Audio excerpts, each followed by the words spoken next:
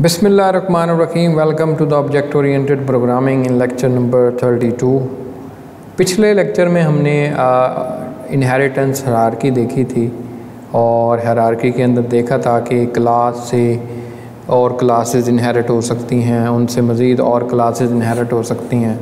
तो एक हरारकी की शक्ल बन जाती है, एक ट्री लाइक स्ट्रक्चर बन जाता है, जिसमें एक मेन रूट होता है और बाकी सारे उसके चाइल्ड नोट्स बन जाते हैं और तो वो हरारकी डेप्थ में जा सकती है, लेकिन उसमें फिर जितना वो आगे डेप्थ में जाएगी कॉम्प्लेक्सिटी उतनी ज़्यादा इंक्रीज़ होगी। और मैंने यहाँ पे ये बात भी बताई थी आपको कि ये बेसिकली फिर उसमें प्रॉब्लम पे डिपेंड करता है कि जिस नोयत की आप प्रॉब्लम सॉल्व कर रहे हैं, उसमें क्या डेप्थ कहाँ तक जाएगी।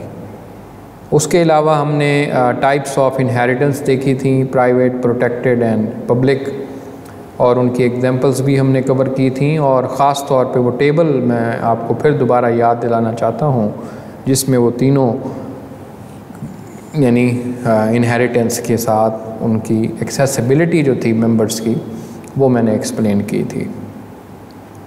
आज के लेक्चर में हम मज़ीद आगे चलेंगे और वहीं से अपना लेक्चर स्टार्ट करेंगे, जो लास्ट टाइम हमने ख़त्म किया था। और वही कलेक्शन की क्लास है। और यहाँ से हम कोई एक नई चीज़ ड्राइव करना चाह रहे हैं तो आप अपनी तवज्जो जो है, वो इसमें ज़्यादा रखेंगे, ताकि हम उस चीज़ को मैनेज कर सकें। यहाँ पे वही देखें मैंने कलेक्शन की क्लास बनाई है, और उसके अंदर जो पब्लिक मेंबर्स हैं, वो ऐड एलिमेंट सर्च एलिमेंट और search element again delete element जो है ये वही चारों मेथड्स हैं जिनकी एक्सप्लेनेशन मैंने लास्ट लेक्चर में भी की थी। और आ, मुझे उम्मीद है वो आपने देख लिया होगा। आगे हम ये कह रहे हैं कि आ, एक और क्लास सेट की क्लास बना रहे हैं जो कि प्राइवेट इनहेरिट कर रही है कलेक्शन से। और इसके कुछ प्राइवेट मेंबर्स हैं और पब्लिक मेंबर्स हैं वही ऐड मेंबर इस मेंबर और डिलीट मेंबर और इनकी आगे एक्सप्लेनेशन मैंने दी थी। यहाँ पे अब वो हम एक कॉन्सेप्ट एक लेके आते हैं जो हम पहले भी स्टडी कर चुके हैं मॉडलिंग के अंदर। वहाँ पे जब इनहेरिटेंस की टाइप्स हम देख रहे थे तो वहाँ पे हमने स्पेशलाइजेशन यानी रिस्ट्रिक्शन एक कॉन्सेप्ट पढ़ा था जो कि इनहेरिटेंस के हवाले से था। इस derived class is behaviourally incompatible with the base class यानी दो क्लासेस हैं, एक बेस क्लास है, एक जो है हमारी ड्राइव क्लास है। हम ये कह रहे हैं कि ये ड्राइव क्लास जो है बिहेवियरली इनकम्पैटिबल है बेस क्लास इसका मतलब ये है कि वैसे तो वो ड्राइव कर रही है, लेकिन इसका बिहेवियर जो है, वो अलग है बेस क्लास से, या स्पेशलाइज्ड बिहेवियर है, या इसका जो बिहेवियर है, वो बेस क्लास के बिहेवियर से डिफरेंट है। इनहेरिट हो रही है लेकिन बिहेवियर डिफरेंट है।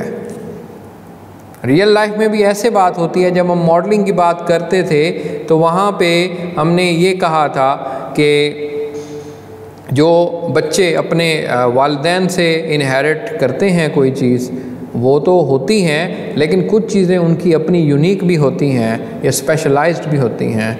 वही चीज़ यहाँ पे इम्प्लीमेंट होती हुई आपको नज़र आती है। Behaviorally incompatible means that base class cannot always be replaced by the derived class. वैसे नॉर्मली ऐसा हो सकता है कि आपकी बेस क्लास जो है, वो ड्राइव क्लास से रिप्लेस हो सकती है, लेकिन अगर बिहेवियरली इनकम्पैटिबल वो क्लास है ड्राइव क्लास तो फिर बेस क्लास ड्राइव क्लास से रिप्लेस नहीं हो सकती, ये एक ख़ास चीज़ है।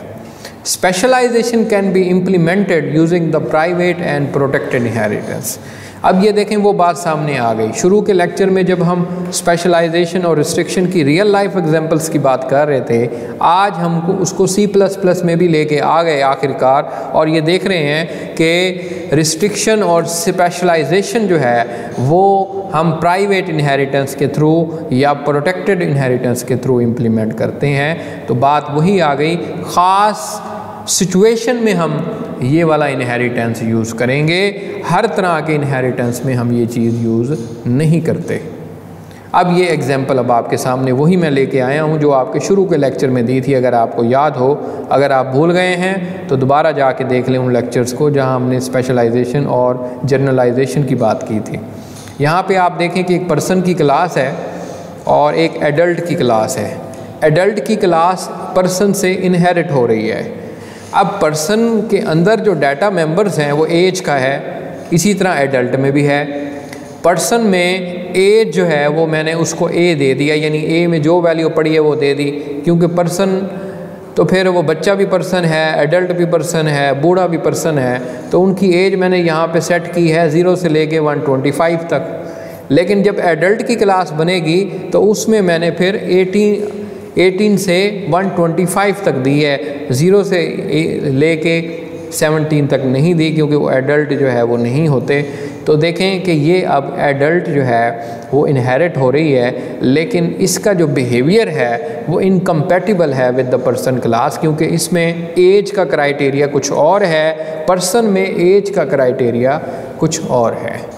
तो यहाँ पे देखिए मैंने कंडीशन लगाई है। अगर तो उस पर्सन की एज लेस देन 18 है देन एरर एल्स जो है वो एज हम सेट कर देंगे। अगर तो एडल्ट क्लास में एज जो है वो 18 साल से कम आ रही है तो यहाँ पे एरर प्रोड्यूस करो, क्योंकि एडल्ट में 18 ईयर से कम कोई नहीं आता। तो इसी चीज़ को अब हम यहाँ कोड में एक्सप्लेन कर रहे हैं। तो सी का आप कोड आपके सामने है। मैंने वही पर्सन की क्लास बनाई। और इसमें प्रोटेक्टेड मेंबर एज रखा मैंने। उसके बाद मैं यहाँ पे अब एक सेट एज का फ़ंक्शन यानी इसकी रिटर्न टाइप बुलियन है, यानी ट्रू फॉल्स रिटर्न करेगा। और इसको मैं एज जो है वो दे रहा हूँ। पैरामीटर के तौर पे ये एज जो है वो अंदर आएगी और फिर हम टेस्ट करेंगे कि एज जो है वो ज़ीरो से बड़ी हो या इसके बराबर हो। एंड एज जो है वो लेस देन 125 और इक्वल टू 125 हो तो इस एज को एज में डाल दो और रिटर्न ट्रू करो। अगर तो वो इसके अलावा कोई कंडीशन है, यानी ज़ीरो से अगर वो बड़ी नहीं है, या जो 125 से भी ज़्यादा हो जाती है तो उस केस में यहाँ पे क्या होगा? एरर यानी फॉल्स रिटर्न होगा और एरर जनरेट होगा, यानी यहाँ से रिटर्न फॉल्स जाएगा। तो ये देखिए, मैं वही चीज़ कोड में एक्सप्लेन कर रहा हूँ। तो सी प्लस प्लस का कोड अब आपके सामने है। आपने इसको लिखना है और बनाना है। अब देखें कि मैं यहाँ पे एडल्ट की क्लास बना रहा हूँ, लेकिन अब इसको मैं इनहेरिट करवा रहा हूँ पर्सन से, लेकिन ये कौन सी इनहेरिटेंस है? प्राइवेट इनहेरिटेंस है। प्राइवेट इनहेरिटेंस है। यहाँ पे मैंने एज जो है, वो अब देखें यहाँ पब्लिक में सेट एज का फ़ंक्शन मैंने यूज़ किया है। अब ये मैं स्पेशलाइज्ड सेट एज का फ़ंक्शन बना रहा हूँ। ये देखें, ये वही सेट एज का फ़ंक्शन है जो कि बेस क्लास में है, यानी पर्सन की क्लास में। मैं अब इसको वही नाम यूज़ कर रहा हूँ, लेकिन मैं इसमें स्पेशलाइजेशन भी यूज़ कर रहा हूँ। सही है? यानी मैंने इसको मज़ीद स्पेशलाइज कर दिया या दूसरे लफ्ज़ों में रिस्ट्रिक्ट कर दिया। यानी मुझे सेट एज का फ़ंक्शन जो बेस क्लास का था, वो तो एज सेट करवा रहा था ज़ीरो से लेके 125 तक। अब एडल्ट की क्लास में तो ये रेंज जो है, इसमें गलत रेंज भी आ रही है, यानी ज़ीरो से लेके 17 वाले भी बीच बीच में आएँगे इसमें लोग। तो मैंने इसको रिस्ट्रिक्ट कर दिया कि भाई age is greater than equal to 18 and less than equal to 125 and अब अगर ये कंडीशन हमारी ट्रू है तो तब हम एज सेट करेंगे अदरवाइज़ हम माजरत कर लेंगे और फॉल्स रिटर्न करेंगे। तो यहाँ पे आप देखेंगे, इस तरीके से आप बना सकते हैं। तो ये रिस्ट्रिक्शन आपको अब सी प्लस प्लस में अप्लाई होती हुई नज़र आ रही है। तो इसी तरह अब ये चीज़ आपने समझनी है।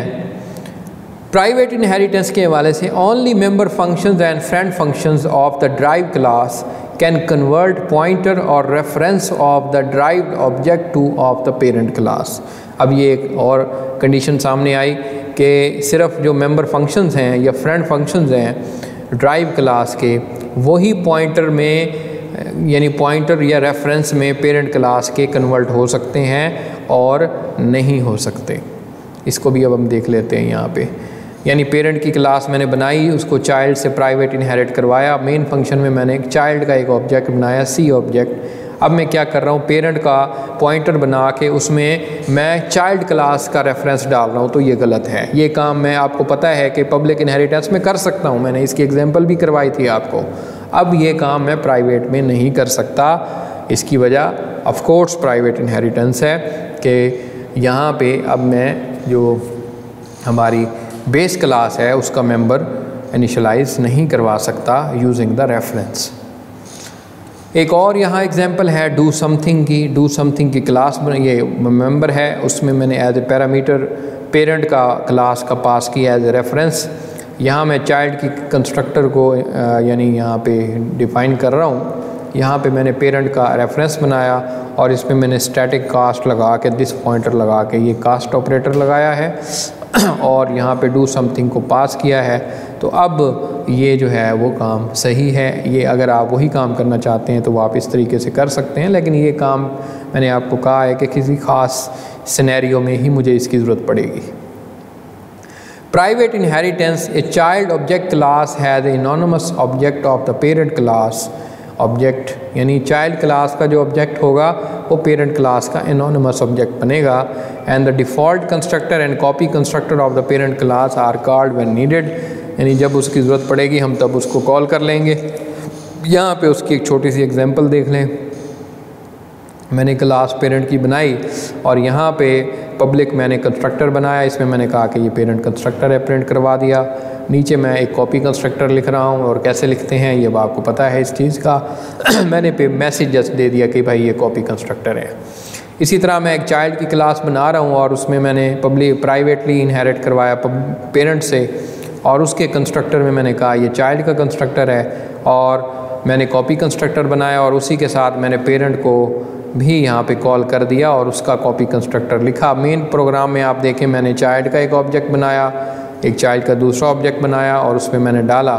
तो अब आप देखें कि ये सबसे पहले पेरेंट का कंस्ट्रक्टर कॉल हुआ, फिर चाइल्ड का कंस्ट्रक्टर फिर पेरेंट का कॉपी कंस्ट्रक्टर और फिर जो है वो चाइल्ड का कॉपी कंस्ट्रक्टर ये वही ऑर्डर ऑफ़ यानी कॉलिंग हो रहे हो रही है जो हम पहले भी इसके ऊपर काफ़ी लेक्चर्स कवर कर चुके हैं। Private inheritance, the base class that is more than one level down the hierarchy cannot access the member functions of the parent class if we are using the private inheritance. यानी base class एक से ज़्यादा level down hierarchy नहीं जा सकती उसकी वजह आपको पता होगा कि तमाम प्राइवेट मेम पब्लिक और प्रोटेक्टेड मेंबर्स ड्राइव क्लास के क्या बन जाते हैं प्राइवेट मेंबर्स बन जाते हैं, इसलिए आगे वो एक्सेस ही नहीं हो सकेंगे, इसलिए उनकी तो कुछ फ़ायदा ही नहीं है लॉजिक नहीं बनती। यहाँ पे देखें, वही है कि मैंने एक क्लास ग्रैंड पेरेंट की बनाई, उसमें कहा डू समथिंग अब मैंने पेरेंट की क्लास बना के ग्रैंड पेरेंट से प्राइवेट इनहेरिट करवा लिया।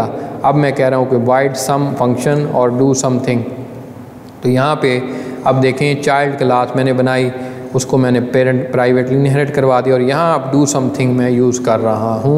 डू समथिंग ग्रैंड पेरेंट का प्राइवेट मेंबर पब्लिक है, ये हमारा पेरेंट क्लास में जाके प्राइवेट मेंबर बन जाएगा।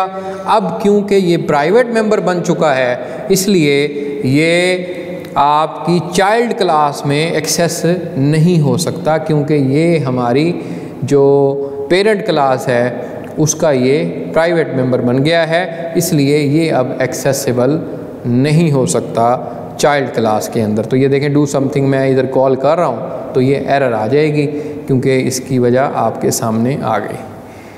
Private inheritance in the base class that is more than one level down hierarchy can not convert the point reference to the child object of that parent if we are using the private inheritance यहाँ बात भी वही है, क्योंकि आप एक level down तो मज़ीद और जा नहीं सकते आगे तो फिर नॉर्मली नहीं जा सकते तो फिर आप जो है रेफरेंस पॉइंटर्स के थ्रू भी नहीं जा सकते। तो यहाँ पे आप देखें, वही काम मैंने किया है, लेकिन यहाँ पे देखें पॉइंटर का एरर आ गया। ऑफ़ कोर्स वजह आपके सामने आ गई होगी। आगे चलते हैं और प्रोटेक्टेड इनहेरिटेंस को देखते हैं। Protected inheritance is if we want to build the class hierarchy using the implemented the term of अब इसमें आपको पता है कि प्रोटेक्टेड इनहेरिटेंस में क्या होता है। If B is protected of the base class, uh, protected base and D is derived of then public and protected members of the B can used and the member function and friend of the class derived from the D कहानी वही है कि आपको मैंने जो बताई थी कि प्रोटेक्टेड मेंबर्स जो या पब्लिक और प्रोटेक्टेड मेंबर्स जो हैं वो ड्राइव क्लास के भी प्रोटेक्टेड मेंबर्स बन जाते हैं और ऑफ़ कोर्स आगे कोई और अगर क्लास ड्राइव करती है तो वो उसको एक्सेस कर सकेगी अदरवाइज़ नहीं कर सकेगी। क्लास से बाहर हम एक्सेस कर नहीं सकते उनको। तो यहाँ पे अब आप देखें कि ग्रैंड पेरेंट क्लास मैंने बनाई। उसके अंदर आप देखें मैंने डू समथिंग का एक फ़ंक्शन बनाया। अंदर एक और पेरेंट क्लास बनाई, एक और पेरेंट और प्रोटेक्टेड इनहेरिटेंस करवाया। यहाँ पे अब मैं डू समथिंग कॉल कर रहा हूँ। यहाँ पे भी अब मैंने प्रोटेक्टेड यानी चाइल्ड की क्लास बना के उसको फिर पेरेंट्स से इनहेरिट करवाया तो यहाँ पे अब मैं डू समथिंग यूज़ कर सकता हूँ, क्योंकि ये अब ड्राइव क्लास के अंदर तमाम वो बेस क्लास के प्रोटेक्टेड मेंबर यूज़ हो सकते हैं, इसलिए मैं इसको यूज़ कर सकता हूँ। यही बात अब इसका पॉइंटर में मैं बना सकता हूँ, ये मैंने एक्सप्लेन किया है तो पॉइंटर भी देख लें, यानी मैंने देखें डू समथिंग का function as a reference pass किया है तो अब आप देखें कि मैं पेरेंट की क्लास ग्रैंड पेरेंट से इनहेरिट कर रहा हूँ और चाइल्ड की क्लास पेरेंट से इनहेरिट कर रहा हूँ तो उसमें अब ये पॉइंटर में यूज़ कर सकता हूँ क्योंकि ये प्रोटेक्टेड मेंबर है, ये मैं बेस क्लास का यूज़ कर सकता हूँ। लेकिन प्राइवेट इनहेरिटेंस में ये काम नहीं हो रहा था, उसकी वजह यही थी कि प्राइवेट इनहेरिटेंस के अंदर तमाम पब्लिक और प्राइवेट मेंबर्स जो हैं सॉरी पब्लिक और प्रोटेक्टेड जो मेंबर्स हैं, वो ड्राइव क्लास के, आपके प्राइवेट मेंबर्स बन जाते हैं। तो आज का लेक्चर मैं यहीं पे ख़त्म करता हूँ। आज के लेक्चर में हमने काफ़ी इंटरेस्टिंग और फंडामेंटल चीज़ें देखी हैं इनहेरिटेंस के हवाले से। हमने रिस्ट्रिक्शन की बात की स्पेशलाइजेशन से बात शुरू की कि वो कैसे इम्प्लीमेंट होती है और उसका मतलब क्या है, उसको सी प्लस प्लस में हमने इम्प्लीमेंट किया। फाइनली हमने उसके अंदर चीज़ें चेंजेस लाई और दूसरी जो फर्दर हमारी टाइप्स थी प्राइवेट इनहेरिटेंस और प्रोटेक्टेड इनहेरिटेंस उसको हमने एक्सप्लेन किया, उनकी एग्जांपल्स देखी। मुझे उम्मीद है कि आज का लेक्चर आपके लिए काफ़ी हेल्पफुल साबित हुआ होगा। यहाँ पे अब इनहेरिटेंस को हम ख़त्म करेंगे। अगले लेक्चर में हम नया कॉन्सेप्ट स्टार्ट करेंगे। उस वक्त तक के लिए खुदा हाफिज़।